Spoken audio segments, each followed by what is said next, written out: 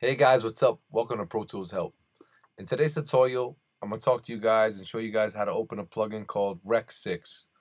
Uh, this is for beginners or new users to the Pro Tools session or beginners or new users to the Waves plugins. Again, please remember that you got to have certain Waves bundles in order to open these kind of plugins. So we're going to go to Insert on whatever track it is. We're going to go to Multi-Channel uh, Plugin. We're going to go to EQ and we're going to go down to REQ 6. Uh, this is the exact same as the REQ 2 and the REQ 4, but this one has six knobs that you can sweep around the uh, frequency spectrum with. Again, it works the exact same way. You got your gain, you got your frequency, you got your Q, and you got your inactive and disactive button right here. Uh, you also have your output on the right. Again, this is a great, great uh, equalizer. I really suggest you guys try it out. I think it'll help you guys to clean whatever it is that you want to clean. Um, uh, if you guys have any further questions, please message me. I'd love to get back to you guys and help you guys out.